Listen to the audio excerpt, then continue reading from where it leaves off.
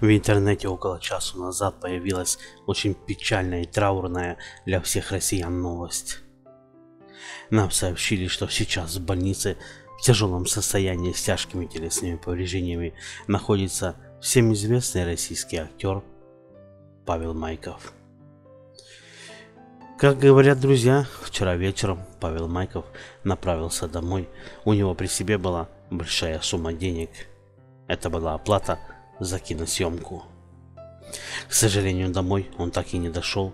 Его уже ночью нашли недалеко от дома избитым и ограбленным. Скорую помощь и полицию вызвала какая-то женщина, которая обнаружила Павела Майкова. Сейчас полиция проводит доследственную проверку. Ждут, пока Павел придет в себя для того, чтобы взять у него показания.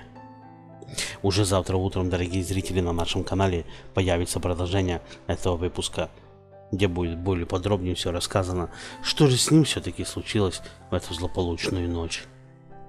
Не забывайте, что вам просто необходимо подписаться, дорогие друзья, на наш канал, ведь только таким способом вы не пропустите свежие выпуски, которые мы готовим для вас.